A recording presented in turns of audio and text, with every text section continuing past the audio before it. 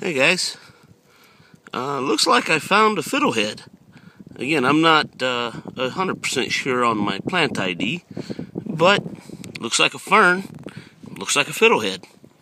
Um, these are what they look like now as they're coming out, but uh, yeah.